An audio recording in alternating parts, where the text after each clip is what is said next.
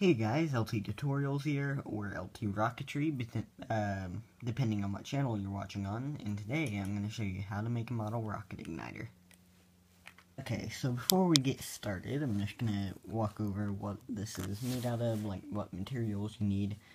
Um, the wire, um, doesn't really matter what kind of wire you have, it just needs to be around, uh, maybe if you have Lego, uh, around that size uh, like that. Uh, the wire, in case you just happen to have one, is made out of an old uh, uh, launch controller wire that broke, so you can use that. The cardboard right here is uh, basically I just took a cardboard box like right here, and I cut the top layer of it off, and that is what it uh, that's made out of. It's uh, double-sided. And then the very top, if my camera focuses, you'll see a tiny wire bridging the two together. That is 40 gauge nichrome wire. So you also need that. So let's get started. Okay, so you're going to need two lengths of wire around uh, this long just for show utilize a piece again. Probably around the size of your black deflector you use. So, the kind of wire I have is braided together. Basically, you just want to um, take it and roll it in your fingers to twist it around. And uh, you'll need two of those. I don't know if I already said that.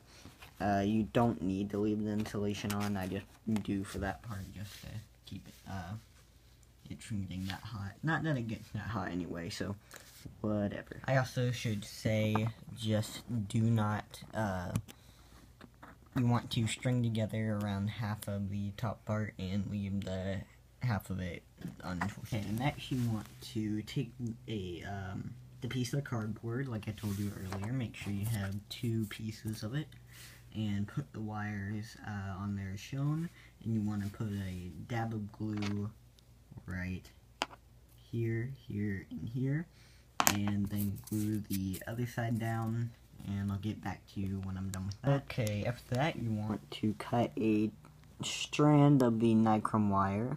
As you can see right there, that's about an inch of it. And um, you want to stick a strand of it through the unbraided part of the wire and then twist the uh, part of the wire up here around the nichrome wire so it stays in place and do that with both sides, trying to get the bridge wire between the two as small as possible. But you do want it big enough to, to uh, you can touch it to the propellant without the two touching it. So I'll get back to you when I'm done with that, and by then the igniter should be done. Okay, so I'm done bridging the two wires together. Uh, after you're done with this, you want to check for the continuity of the two wires to do this, just hook up your two alligator clips and your launch controller and push down on this key. If the red light comes on, your igniter should be done. I'm not going to test it just because I want to use it on a rocket. So, uh, if your light does not come on, you want to go ahead and make sure that the wire is touching both wires I should go ahead and say it does not matter if you have different types of wires for both, uh, and they can both be silver, copper, or whatever. And, um, if you go back and check that they're both touching and they still won't light up, uh, it might be the kind of wire you're using that's not conductive with nichrome wire or something like that. But anyway, thanks for watching. I hope this has helped you. Goodbye.